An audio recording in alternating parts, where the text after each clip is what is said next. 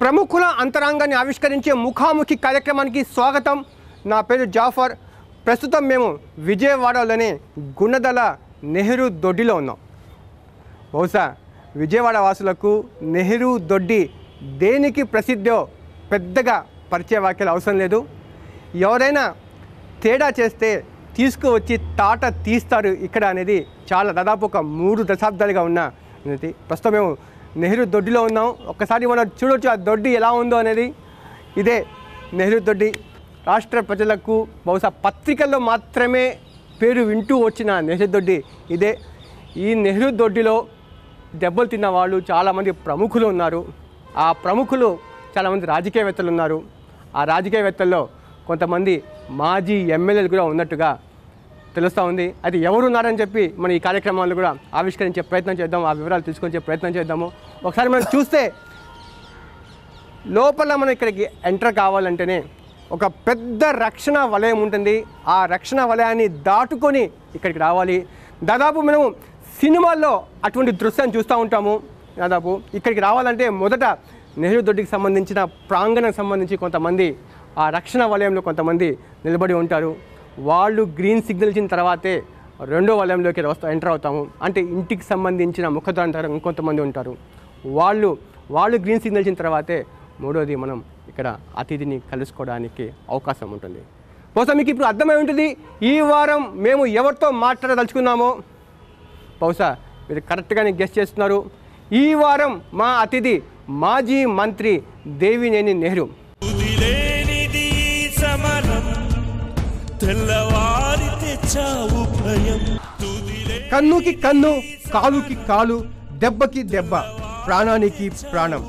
అంతిమంగా ఒక్కటే లక్ష్యం యమధర్మం శత్రుశేషం ఉండకూడదన్నదే. ఇది విజయవాడలో ఒకప్పటి పరిస్థితి. వంగవీటి దేవినేని వర్గాల మధ్య సుదీర్ఘకాలం జరిగిన యుద్ధంలో ఓడిందెవరు? గెలిచిందెవరు? ఈ విషయాన్ని పక్కన పెట్టి కాలం మాపిన ఆ గుండె గాయంపై తాజాగా మాజీ మంత్రి హరిరామ జోగయ్య ఎమ్మెల్సీ బుద్ధ వెంకన్న ఎందుకు కారం చల్లారు? నాటి రక్త చరిత్రకి సాక్షి సంతకంలా ఉన్న మాజీ మంత్రి దేవినేని రాజశేఖర్ అలియాస్ నెహ్రూ అంతరంగాన్ని ఇప్పుడు ఆవిష్కరిద్దాం. నమస్కారం నెహ్రూ గారు. ముప్పై ఏళ్ళ తర్వాత మళ్ళీ నెహ్రూ దొడ్డి గురించి వార్తలు వస్తూ ఉన్నాయి.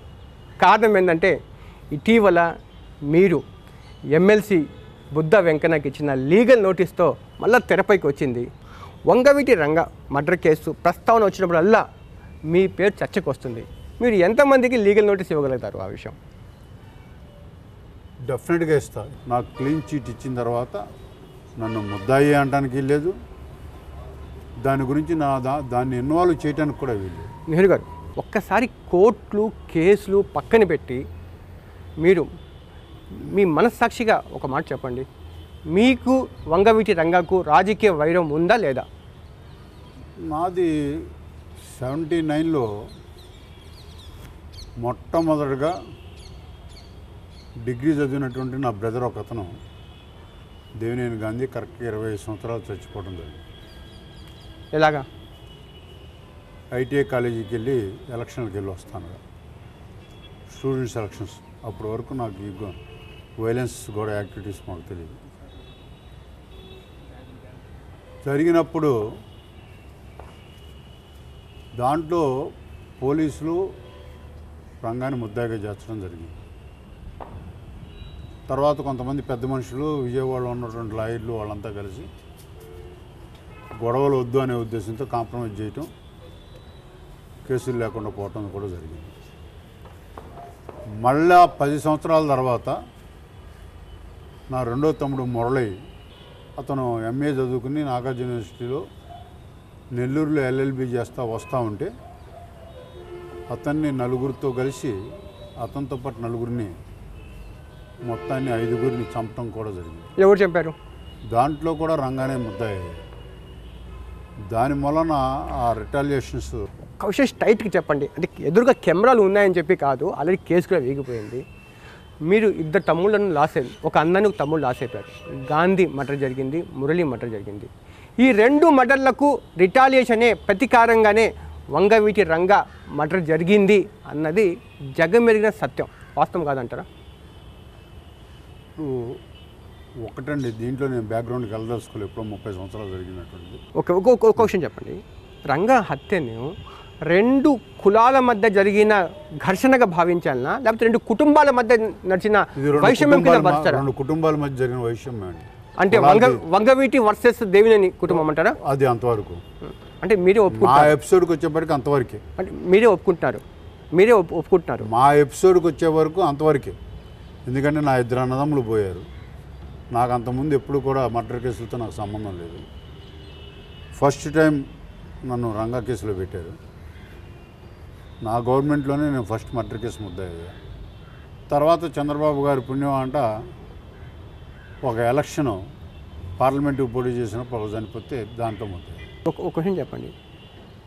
మీరు నేరుగా హస్తం లేకపోయినా కూడా మీ నోటీస్తో లేకుండానే వంగవిటరంగ హత్య జరిగి ఉంటుంది అంటారా మీరు మళ్ళీ మళ్ళీ మొదటిగా వస్తున్నారు నేను అనేది ఒక నెహ్రూని ఎందుకు తీసుకుంటున్నారు మీరు? ఇంకెవరున్నారు అప్పుడు? నెహ్రూకు ఉన్నటువంటి మురళీకి ఉన్నటువంటి ఫ్రెండ్స్ క్లోజ్ ఫ్రెండ్స్ ఎంతమంది లేరు? వాళ్ళందరూ మీ ఫ్రెండ్సే. కాదు. మీ అనుచరులే మురళీ ఒక్క ఆ స్థాయిలో అతనితో ఎంఏ చదివిన వాళ్ళు డిగ్రీ చదివిన వాళ్ళు ఉన్నారే. వాళ్ళలో ఎంత మంది నెహ్రూ అతను ఎమ్మెల్యే అయిపోయాడు అతను పట్టించుకోవట్లేదు. మనం ఎందుకు చేయకూడదు అనేటువంటి వాళ్ళు కొంతమంది ఉన్నారు కదా.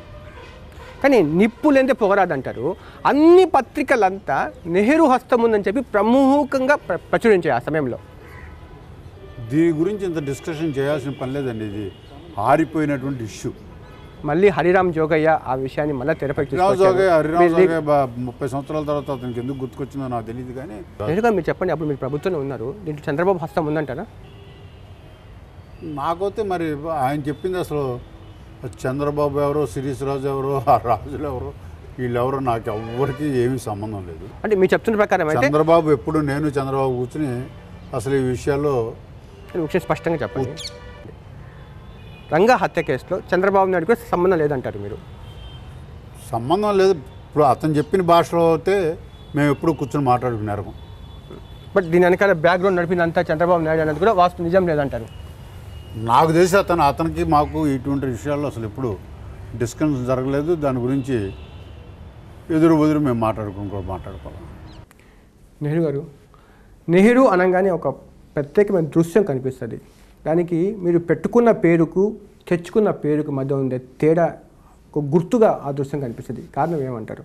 ఈ స్టూడెంట్ పాలిటిక్స్లో చాలా స్పీడ్గా ఉండేవాడిని. నేను ఎలక్షన్స్లో కానీ ఇట్లా. అప్పుడు ఇటువంటిది వచ్చింది కానీ ఆయన పెట్టింది గాంధీ మాకు చంద్రశేఖర్ రాజశేఖర్ అసలు. కానీ ఆయన ముద్దుగా ఆయన యొక్క ఆ రోజుల్లో పనిచేసేదాన్ని బట్టి గాంధీ నెహ్రూ అని పెట్టుకున్నారు. ఎనభై దశకం తొంభై దశకం జరిగిన స్టూడెంట్స్ అల్లర్లు ఏదో ఉన్నాయో దానివల్ల విజయవాడ అభివృద్ధి ఒక పాతిక సంవత్సరాలు వెనక్కి నెట్టబడింది అనేది ఒక రకమైన వాదన. మీరు అంగీకరిస్తారా వాదన? డెబ్బై తొమ్మిదిలో నా ఎపిసోడ్ స్టూడెంట్ సెలక్షన్లో జరిగింది. అప్పటి వరకు బెదవాడలో మాదేం లేదు. నా దాని ఓన్లీ స్టూడెంట్ ఆర్గనైజేషన్. అప్పుడున్న జయేంద్ర యాజిటేషన్లో సిపిఐ వాళ్ళు మా తలలు పాలు కొడతా అంటే మేము అప్పుడు రాధా బతికుండగానే అతనితో ఇదయ్యి సపోర్ట్ తీసుకోవడం జరిగింది. అంతేగాని డెబ్బై తొమ్మిదిలో జరిగింది డెబ్బై తొమ్మిది నుంచి ఎనభై ఎనిమిది వరకు అయిపోయింది అనేది ఉత్తమ మాట అది.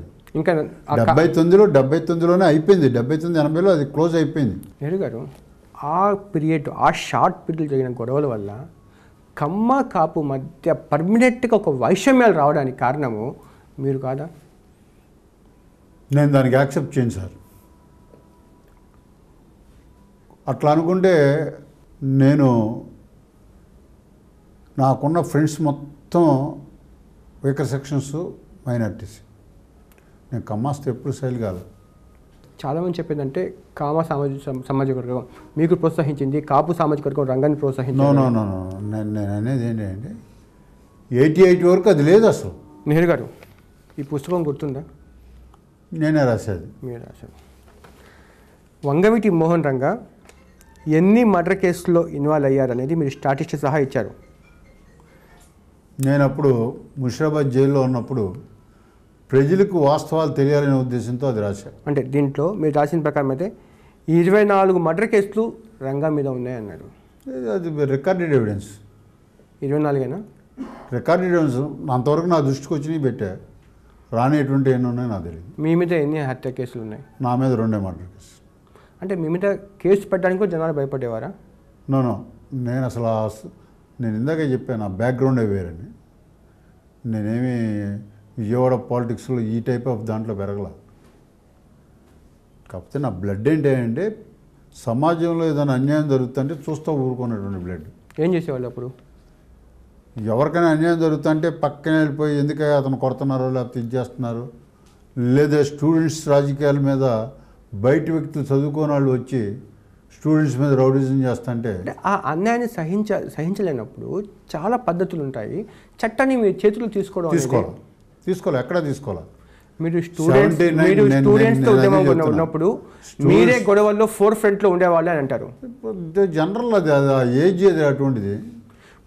కాదని చెప్పట్లేదే. మొదటి దెబ్బ మీరే వేసేవాళ్ళు అంటారు students CPI CPI organization ASF ఉండేది. అప్పుడు ఏఎస్ఎఫ్కి మాకు టగ్ ఆఫ్ ఫోర్గా ఉండేది. జరగ జరిగే మామూలుగా అంటే ఏమి రాడ్డులతోనో బరిసెలతోనో కొట్టుకోవటం కాదు కదా. చేతులతో కొట్టుకోవటం. వాళ్ళు ఒక యాభై మంది మేము ఒక యాభై మంది ఉండేవాళ్ళం.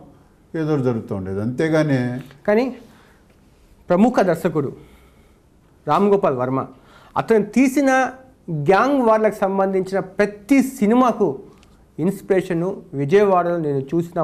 దేవినే నెహ్రూే కారణం అంటారు. అతనికి అంత ఇన్స్పైర్ చేసిన క్యారెక్టర్ ఏంటండి మీది? దేవినే నెహ్రూ అనేవాడిది నేను మొన్న కూడా చూశాను ఇంటర్వ్యూ నేను చదువుకునే రోజుల్లో ఆయన చదువుకునే రోజుల్లో ఎయిటీస్. నెహ్రూ గారు ఇప్పుడు ఒక్కసారి ముప్పై ఏళ్ళు వెనక్కి తిరిగి చూస్తే ఆ సమయంలో మీరు ప్రవర్తించింది కరెక్ట్ అని చెప్పి అనుకుంటున్నారు? ఏ రోజున ప్రత్యేకతాపం వచ్చిందా? ఆ సమయంలోనూ అలా ప్రవర్తించుకుంటే అని. పశ్చాత్తాపడాల్సినటువంటి ప్రయత్నాలు ఏం చేయలేదు. నా క్యారెక్టర్ ఏం క్లీన్ చిట్. నెహ్రూ గారు మీరు ఇబ్బంది పడే ప్రశ్న ఒకటి అడుగుతాను. మీరు ఇప్పటి వరకు ఎంతమందిని హత్య చేశారు? నేను మీతోనే చెప్తున్నాను కదా నన్ను నేను నన్ను పెట్టింది రెండు రెండిట్లో పెట్టారు. మీకు హత్య అంటే. హత్య హత్యలో నేరుగా పార్టిసిపేట్ అవుట్ చేయడానికి మీరు ఇంట్రెస్ట్ చూపిస్తారా? వ్యూహకర్తగా వెనకాల బ్యాక్గ్రౌండ్లో ఉండి నేను. చేయడానికి మాత్రమే నేను అసలు ఏది చేయనండి. కాకపోతే ఒకటి ఏది చేయనంటే నేనేదో సత్యహరిచంద్రుడిని ఇవన్నీ ఈయనకేదో తెలియదు అని నేనేం చెప్పట్లా. ఒక అరాచకం అనేది కళ్ళ ముందు కనపడితే తన చిన్న ఎగ్జాంపుల్ ఒకటే. రోడ్డు మీద ముళ్ళు ఉందనుకోండి తుమ్ముళ్ళు. కొంతమంది ఈ తుమ్ములను ముట్టుకోవడం ఎందుకు అది తొక్కితే కరుస్తుంది కదా అని పక్క నుంచి వెళ్ళిపోతారు. కొంతమంది మీడియా వాళ్ళు మీలాంటి వాళ్ళు అరే ఇది జనాలకు ఇబ్బంది పడుతుంది కదా అని తీసి పక్కన పడేస్తారు. మీరేం చేస్తారు? నేను అరే ఈ చెట్టు అనవసరంగా ఇది అసలు దీని చెట్టునే తీసేసి పీకేసి పక్కన పారేస్తే సమాజంలో ప్రశాంతతగా ఉంటుంది కదా అలా ఎంతమంది అట్లా? ఎవరిని పీకలం నిజం చెప్పండి. నిజం నేను మీరు మనస్సాక్షిగా మాట్లాడండి. నా మనస్సాక్షిగా మీరు- ఎదురుగా కెమెరాలు ఉన్నాయని చెప్పి కెమెరాలు గిమెరాలు ఈ నేను ఉన్నది ఉన్నట్టుగా బద్దలు కొట్టి మాట్లాడే రకాన్ని కానీ మీరు బాంబులు బాగా చుడతారు అని అంటారు. అంటే బాంబులు చుట్టడం వరకేనా వేయడం కూడా విజయవాడలో అసలు బాంబుల సంస్కృతి అనేదే లేదు. మిమ్మల్ని బాంబుల కేసులు కూడా పోలీసులు పెట్టారు విజయవాడలో బాంబులు అరెస్ట్ చేశారు. మళ్ళీ ఏంటి? చేశారు ఒక కేసులో అది దాంట్లో. అది నా కాంపౌండ్ కాదు. నా కాంపౌండ్లో కాదు. పక్కన ఎక్కడో దొరికితే అప్పుడు కాంగ్రెస్ గవర్నమెంట్లో నన్ను అరెస్ట్ చేశారు. అది విత్ ఇన్ సిక్స్ మంత్స్లో ఎటువంటి ప్రేమ ఆఫ్ అఫెన్స్ లేకుండా మీ మీద కేసు నమోదు చేసి అరెస్ట్ చేసేస్తారంటారా? అప్పుడు అంతే. నెహ్రూ గారు అంటే నాకు చలసని పండు మీ అనుచరుడు మీ రైట్ హ్యాండ్ బతుకున్నప్పుడు ఒక కథ చెప్ ఒక కథ చెప్పేవాడు ఏమని చెప్పి? అది వాస్తవం అని చెప్పి. ఒకసారి అతను బాంబులు చుట్టిస్తూ ఉంటే మీ దొడ్డులో ఆ బాంబులు పేలి ఒక చనిపోయాడు కర్నూలు సంబంధించిన వ్యక్తి. అంటారు చూడండి. బాంబులు చుట్టించి పేలితే ఈ చుట్టూతా కళ్ళు మూసుకునేదా? నా చుట్టూతా ఉంది ఒక వర్గం కాదు. ఇక్కడ నా ఇంటి చుట్టూతా ఉంది అన్ని రకాల ప్రజలు ఇక్కడ ఉన్నారు. విత్ ఇన్ సెకండ్స్లో విత్ ఇన్ సెకండ్స్లో అది ఫ్లాష్ అయిపోతుంది. అంటే మీరు ఏం చెప్పదలుచుకున్నారు?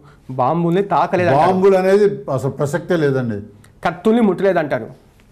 సరే నా పక్కన ఉండాలి ముట్టకుండా ఎట్లా ఉంటారు కానీ పరిస్థితులను బట్టి వాళ్ళ వాళ్ళ యొక్క డిఫెన్స్ కోసం ఇప్పుడు నేను తిరుగుతున్నా. అంటే వాళ్ళు కత్తులు ముట్టు పట్టుకొని No, no, no, మీ నేను- చుట్ట నేను- మీ నేను చుట్టూ చెప్- నేను నడుస్తూ చెప్పేది ఏనండి మీరు శాంతం మీరు మళ్ళీ డైవర్షన్ చేయొద్దు. నేను బాంబులు అనేది అసలు సంస్కృతిలోనే లేదు విజయవాడ సంస్కృతిలో. అది అసలు మాకు సంబంధం కూడా లేదు. రెండు కత్తులు అనేటువంటిది సెక్యూరిటీ ఎందుకంటే ఎయిటీ ఎయిట్ మురళి చచ్చిపోయిన తర్వాత నేను చాలా స్ట్రగుల్ పడ్డా. ఇద్దరు అన్నదమ్ములు పోయారు. నా తల్లి బతుకుంది. దీనికి అంతటికీ కారణం ఏంటి? నేను ఎఫెన్స్గా ఉండి నేను నా బ్లడ్ స్టూడెంట్స్ ఎలక్షన్స్లో ఫాస్ట్గా ఉండబట్టి వచ్చినటువంటిది కారణం అది. అరే నా ఒక్క మూలాన ఫ్యామిలీ చిందరవందర అయిపోతుంది అనేటువంటి టెన్షన్ పడ్డా. నా చుట్టూతో ఉండాలి ఇందాక చెప్పారు పండు లాంటి వాళ్ళు. వాళ్ళు ఇతనికి కూడా ఏదైనా జరుగుతుందని చెప్పి జాగ్రత్త పడిన జాగ్రత్త పడ్డాం. నా చుట్టూతో ఎప్పుడు పదిహేను మంది ఇరవై మంది అప్పుడు ఆ టెన్షన్స్ రోజుల్లో ఎప్పుడు ఇరవై మంది ఉండేవాళ్ళు. అంటే మీరు ఏం చెప్పదలుచుకున్నారు? మీరు నిలువెత్తి శాంతి స్వరూపుడు అనుకుంటున్నారా? నేనే కాదు. నేను నేను ఇందాకే చెప్పాను నేనేం సత్యాచంద్రుడు కాదు. అదే నేను నేనేం గాంధీ మహాత్ముని కాదు. ఒక చెంప కొడితే రెండో చెంప చూపించడానికి ఒక చెంప కొడితే రిటాలియేషన్ ఆటోమేటిక్ చూపిస్తా. ఆ రిటాలియేషన్ ఏదే అది చెప్తా retaliation మీరు మీరు అంత నో నో నో చంపకి చంప చూపిస్తారనే తత్వం నాది కాదు. ఆ పద్ధతి కూడా నాది కాదు. ఒక వ్యక్తికి అన్యాయం జరుగుతుందిరా అంటే తలంచుకునే మనస్తత్వం కాదు. అది నా మీద పడి నా క్యారెక్టర్ అసాసినేట్ అవుతున్నా కానీ దాన్ని రక్షించడానికి ప్రయత్నం చేస్తా. మిమ్మల్ని ఎదురు తిరిగిన ప్రతి వ్యక్తి ప్రతి శత్రువు యొక్క రాజకీయ నిర్మూలన జరిగింది. రాజకీయ శత్రువు ఎక్కడ కూడా జరిగింది. ఎక్కడ ఎవరు చెప్పండి? విజయవాడలో ఇరవై ఏళ్ళు ముప్పై ఏళ్ళ పాటు మిమ్మల్ని వ్యతిరేకించిన వాళ్ళు పాతి సంవత్సరాలు నేను ఎమ్మెల్యేగా ఉన్నా నా కాన్స్టిట్యున్సీలో మీరు ఎక్కడైనా వెరిఫై చేయండి. ఎవరినైనా రాజకీయంగా అనగదొక్కాడు లేకపోతే రాజకీయంగా పక్కన పెట్టాడు లేకపోతే రాజకీయంగా గ్రూపులు పెట్టి గొడవలు పెట్టుకున్నాడు. చాలా మంది చెప్పేది ఏంటంటే నెహ్రూ ఆన్ స్క్రీన్లో ఉండరు ఆఫ్ స్క్రీన్లో ఉంటారు.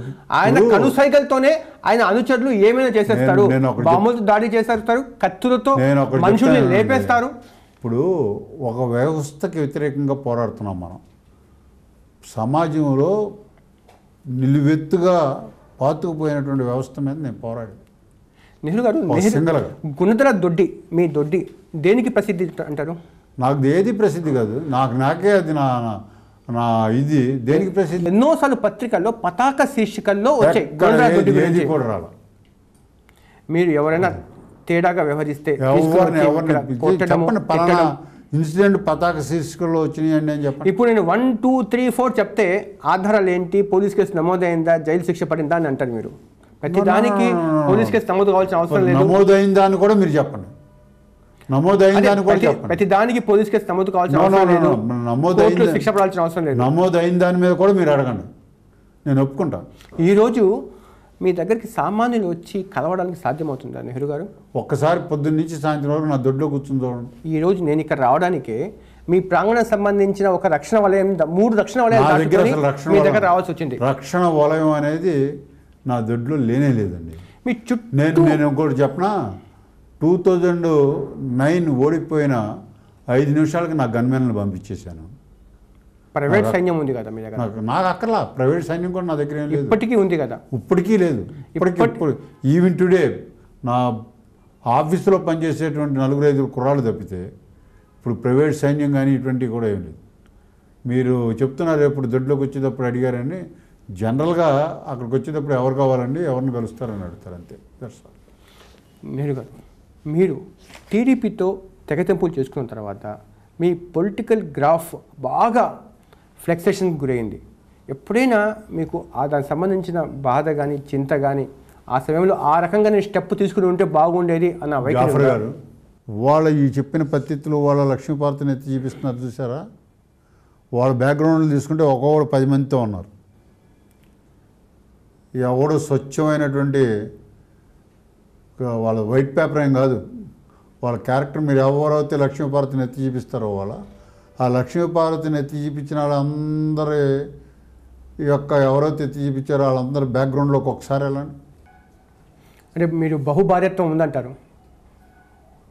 తప్పేముంది నేను అనేది ఆయన ఏం భార్య ఉండగా భార్యని ఏం చేసుకోలేదు. అని కాదు ఇప్పుడు ఆ రోజు ఎవరైతే ఎన్టీఆర్ని వ్యతిరేకించారు లక్ష్మీపార్వతి వ్యవహారంలో డెఫినెట్గా వాటికి నేను ప్రూవ్ చేస్తా. ప్రూవ్ చేస్తా లక్ష్మీపార్వతిని అన్నటువంటి ప్రతి ఒక్కళ్ళు కూడా వాళ్ళ బహుభార్యత్వం కాదు. అసలు ఆ క్యారెక్టర్స్నే మనం అనలైజ్ చేయలేం. మళ్ళీ ఇదే చంద్రబాబు నాయుడిని మళ్ళీ మీరు కలవాలని చెప్పి టీడీపీ పార్టీలో వెళ్ళాలని చెప్పి చాలాసార్లు ప్రేమ లేఖలు రాశారు. సమస్య లేదు. సమస్య లేదు. ఎవరినైనా చెప్పాను. హాయ్ అవినాష్. అవినాష్ గారు చెప్పండి.